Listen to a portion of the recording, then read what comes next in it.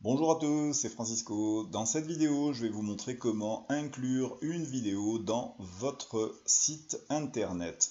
Alors, euh, dans la partie construire, vous avez ici un onglet YouTube, c'est-à-dire vidéo YouTube, qui est là, et sur lequel vous allez tout simplement faire un glisser. Donc on va voir, on a déjà vu cette option dans la construction de site ou page de capture, etc. On va voir un petit peu toutes les options qui s'ouvrent pour, euh, en ce qui concerne les vidéos.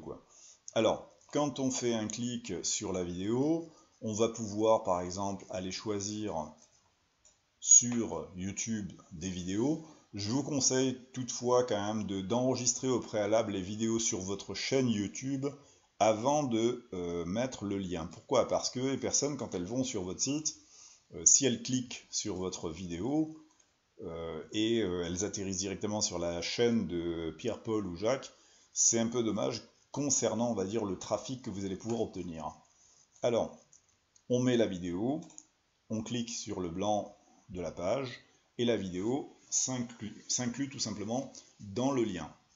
On peut réduire ensuite, bien sûr, la taille de cette vidéo en la mettant soit un tout petit peu plus petite, par exemple, on va mettre grand, moyen, petit, et ensuite, qu'est-ce qu'on peut faire? On peut aussi la mettre à droite ou la mettre à gauche. Avec ces onglets-là, position à droite, à gauche ou au centre. Voilà.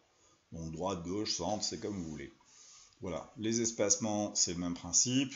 On peut toucher, mais on n'en a pas vraiment besoin. Moi, j'y ai jamais touché et on s'en sert, on va dire, euh, tout à fait convenablement avec ces deux boutons. La taille et les positions, on va dire, ici. Voilà. Si on veut rajouter maintenant une seconde vidéo ici, comme j'arrive des fois à le faire, on peut en en mettre euh, deux ou trois vidéos d'affilée, bon, plus vous en mettez et plus elles sont petites.